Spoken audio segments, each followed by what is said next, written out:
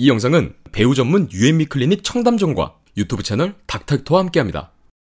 배우가 리뷰하는 배우 리뷰. 안녕하세요. 배우 28호입니다. 오늘 소개해드릴 배우는 드라마 동백꽃 필 무렵을 통해 촌므파탈이라는 새로운 매력을 뽐낸 배우. 선해 보이는 외모만큼 좋은 인성까지 갖춘 미담 제조기. 배우 강하늘입니다. 강하늘의 full story. 지금 시작합니다.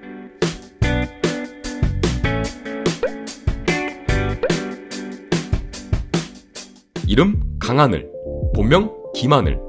1990년 2월 12일 부산 광역시에서 태어났습니다.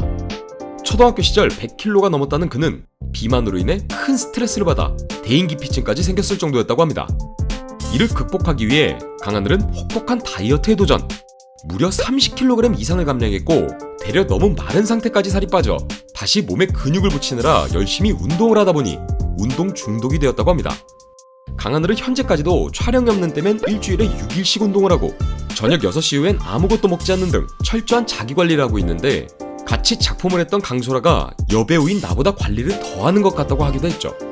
아무튼 이렇게 성인도 어려워하는 다이어트를 어린 나이 성공한 그는 중학생 때 우연히 교회 연극에 소품 담당으로 참여를 하게 되었고 이때 연기에 흥미를 갖게 되면서 배우라는 꿈을 꾸기 시작합니다.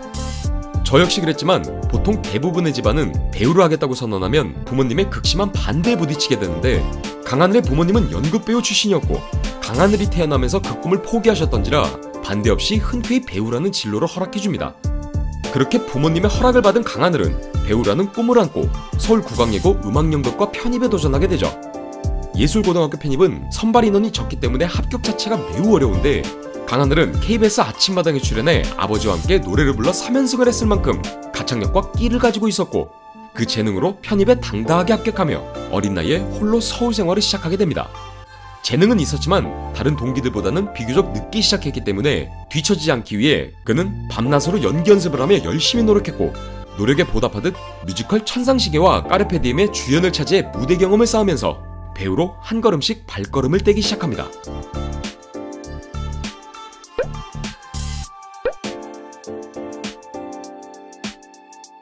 그렇게 뮤지컬을 통해 경험을 쌓아가던 그는 2007년 19살의 나이에 무려 800대 1의 경쟁률을 뚫고 KBS 드라마 최강 울엄마의 주연으로 캐스팅. 잘생긴 모범생 역할로 영상 매체를 통해 대중에게 처음으로 얼굴을 알리게 됩니다. 이후 곧바로 드라마 산넘어 남촌의 눈에 비중 있는 조연으로 캐스팅되며 어린 나이지만 그렇게 탄탄대로를 걷게 되는 듯 보였습니다. 하지만 강하늘은 아직 어린 자신이 주요 역할을 맡게 되는 것에 큰 부담을 느껴 스스로 완벽해야 한다는 중압감에 시달렸고 그 중압감을 이겨내기엔 자신의 실력이 한참 부족하다고 생각하게 됩니다. 이를 이겨내기 위해 강하늘은 방송 대신 무대 공연을 하며 실력과 경험을 쌓기로 스스로 다짐을 하게 되죠. 2008년 중앙대학교 연극영화과 입학하여 고아라, 김범, 박신혜와 동기가 된 그는 스타 동기들과는 약간 다른 행보를 보이기 시작합니다. 앞서 말한 다짐처럼 TV 드라마 출연 대신 뮤지컬 스릴미, 스프링 어웨이크닝, 왕세자 실종 사건, 어쌔신 등 뮤지컬을 좋아하는 사람이라면 이름만 들어도 알만한 굵직굵직한 작품들에 참여하며 커리어를 쌓아갑니다. 여담이지만 스프링 어웨이크닝은 당시 무명이었던 강하늘, 주원, 조정석, 김무열을 한 번에 볼 수 있었던 공연으로 당시 이 공연을 보지 못한 뮤지컬 팬들은 다시는 이러한 초호화 캐스팅을 볼 수 없을 것이라며 안타까워하는 작품으로 유명하죠. 또한 공연했던 스릴미를 우연히 배우 황정민이 직접 관람하면서 강하늘을 눈여겨보게 됐고 스타인 황정민의 소속사에 영입되면서 활동에 날개를 달게 됩니다. 소속사와 계약 이후 2011년 영화 평안성과 너는 펫을 시작으로 드라마 심야병원, 아름다운 그대에게 몬스타, 불온에 출연하며 왕성한 활동을 펼치기 시작합니다. 그리고 2013년 드라마 상속자들을 통해 비로소 주연급 스타로 올라서게 됩니다. 들킨 걸로 따지면 네가 나한테 들킨 게 더 많지 않겠냐? 선배 협박할 때 목소리 되게 좋네요. 욕할 땐 더 좋은데. 들어볼래? 검찰총장 아들한테 부정 입학을 하란 거예요, 지금? 내가 상상도 못할 일들을 아무렇지 않게 하시네요. 어떻게 이래요? 어디까지 갈 건데? 내가 정말 죽어야 끝낼 거예요?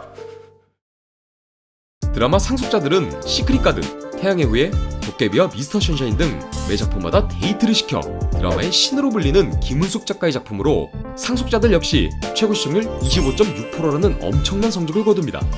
드라마 인기와 더불어 나 너 좋아하냐 등 수많은 명대사들이 온라인에 도배되었고 탄이앓이, 영도앓이 등 주연 배우들에 대한 시청자들의 앓이와 함께 조연 배우들도 이후 모두 주연급으로 성장하는 엄청난 파급력을 보여주었죠.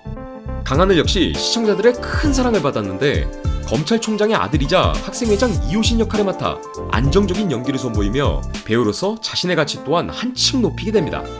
상속자들 이후에는 드라마 엔젤아이즈에 이어 TVN 드라마 미생에 출연하며 임시완, 변요한과 함께 연기력에서도 호평을 얻게 됩니다. 미생 이후에는 스크린으로 활동 영역을 옮겨 2014년 영화 소녀괴담, 2015년 세시봉, 순수의 시대, 스물에 출연하며 주연 배우로서 꾸준한 활동을 보여주었죠.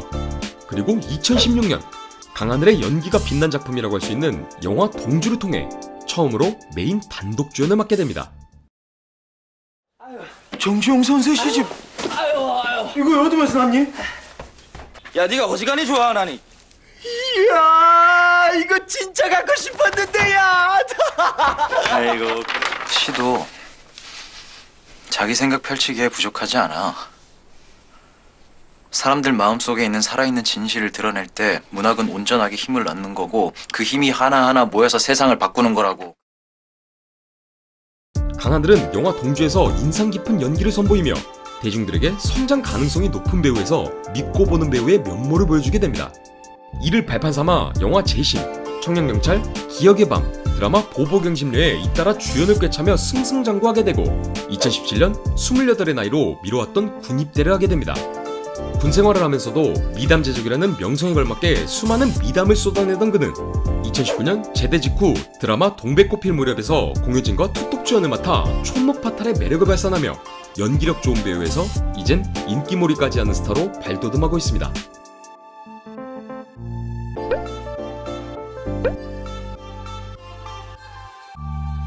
강하늘이 배우로서 가진 특장점을 말씀드리자면 어떤 캐릭터도 자연스럽게 소화할 수 있는 타고난 마스크, 그리고 어느 방면에서도 부족하지 않은 밸런스가 뛰어난 연기력과 타고난 인성을 꼽고 싶습니다.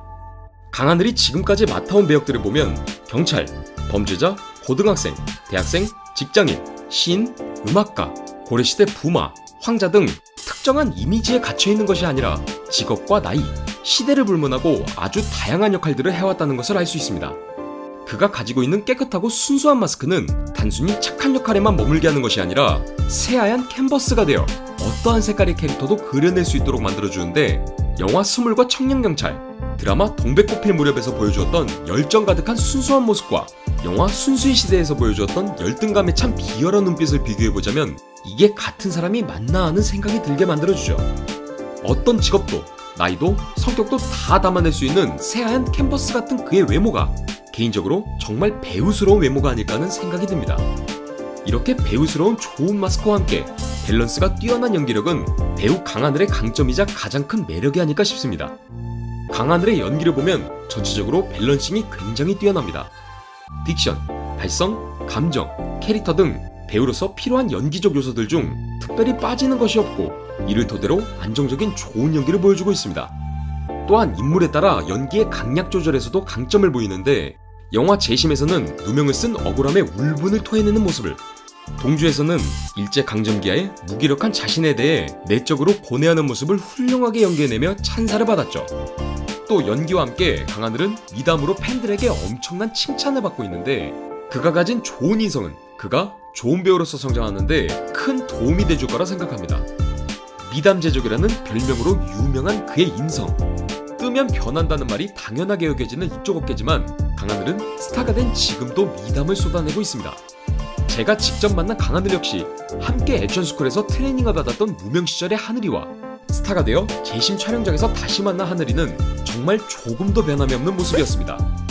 이미 주연으로 수많은 작품을 했고 주연급 스타로 확고히 자리를 잡았음에도 불구하고 남을 무시하기는커녕 항상 웃으며 촬영 스태프들과 동료 배우를 배려하고 인터뷰에서는 주연임에도 아직 배우라는 수식어가 쑥스럽고 부족하다고 말할 만큼 겸손한 모습을 보이고 있습니다.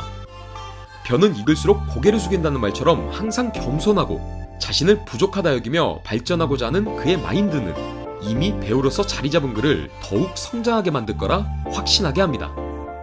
타고난 배우의 마스크와 밸런스가 뛰어난 연기력, 거기에 미담 제조기로서 훌륭한 인성까지 갖춘 배우 강하늘.